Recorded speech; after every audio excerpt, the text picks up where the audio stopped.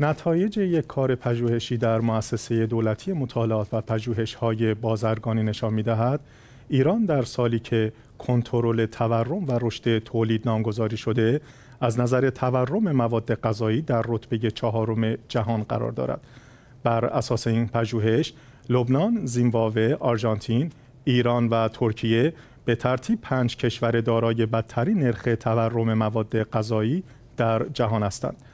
مؤسسه دولتی مطالعات و پژوهش‌های بازرگانی موارد متعددی از جمله تغییرات اقلیمی، همهگیری کرونا و حمله نظامی روسیه به اوکراین را از عوامل موثر در تورم مواد غذایی در جهان اعلام کرد.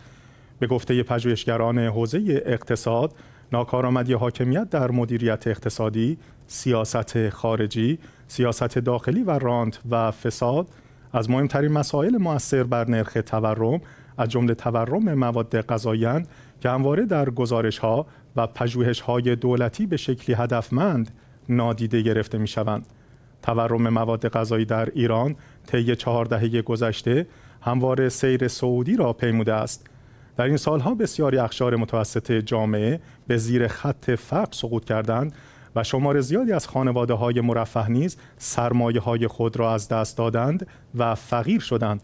در شرایطی که دولت ها در ایران وعده کنترل تورم و رشد اقتصادی را می‌دهند آمارها و گزارش های رسمی نشان می دهد که این امر نیازمند اراده جدی و استفاده از تخصص